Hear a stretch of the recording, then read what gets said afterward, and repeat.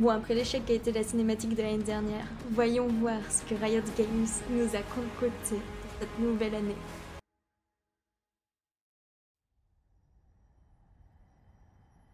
Tomorrow is a hope, never a promise.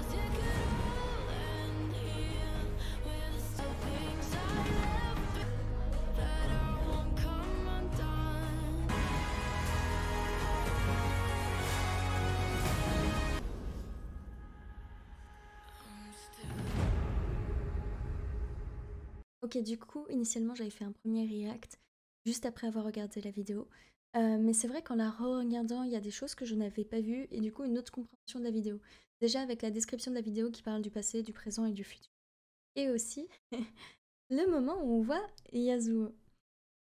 Euh, ce qui a l'air d'avoir étonné pas mal de personnes, notamment sur Twitter, tout ça.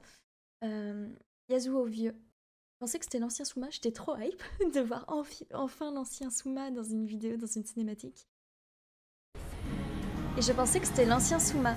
Mais il y a une chose que je n'avais pas vue. C'est la cicatrice ici. Donc c'est Yasuo au futur. Donc euh, la vidéo se divise en trois parties.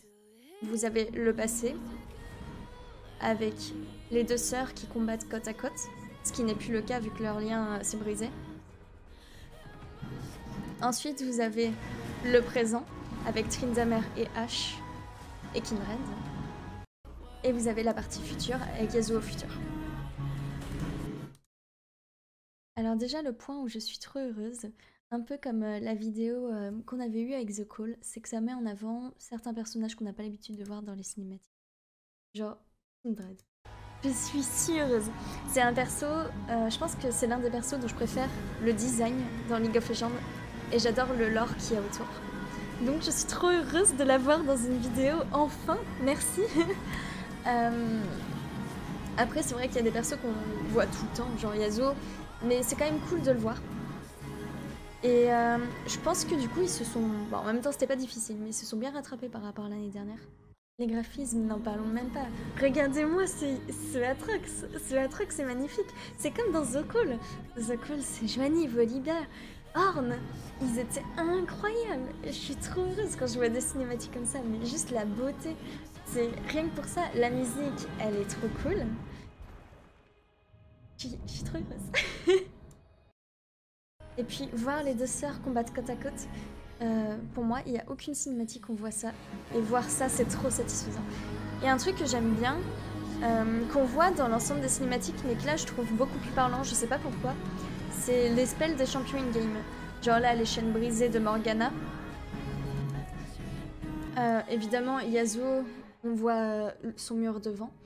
Et pareil, les détails sur les scènes de combat euh, où il y a Yasuo, la, flèche qui va être brisée et tout, c'est d'une beauté sans nom. Moi, ce, genre de choses, ça me fait, ça me fait vibrer.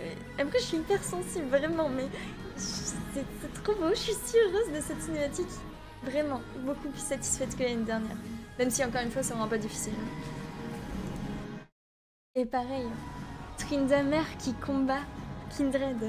Donc, qui combat la mort. Parce que, pour rappel, Kindred, c'est le dieu de la mort. Vous avez soit l'agneau qui vient vous tuer d'une manière rapide et douce parce que vous êtes prêt à accepter votre destin. Comme on peut le voir, Trindamer, il n'a pas accepté son destin. Donc, il se fait chasser par le loup. Et là, pareil, voir Trindamer rentrer en rage. Mais pas que ça, pas que ça.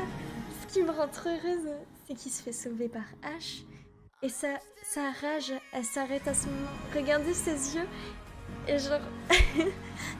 La première fois que j'ai vu ça, je crois que j'ai eu les larmes parce que c'est- vraiment des détails, mais je trouve ça trop beau. Et euh, c'est mon côté hypersensible. Mais c'est d'une beauté sans nom. Je suis trop heureuse. Et puis le pigeon, le piaf euh, de H classique. Donc je sais pas ce que vous pensez de cette cinématique, mais euh, je suis vraiment heureuse. Je pense que je la place dans mes euh, favorites avec The Call. The Call m'avait vraiment marqué. Euh, donc je pense qu'elle est dans mes favorites quand même. Et vous, du coup, votre avis sur cette cinématique? Est-ce que elle vous, est-ce qu'elle vous permet d'oublier l'erreur de l'année dernière? Et aussi, est-ce que ça fait partie maintenant d'une de vos cinématiques favorites?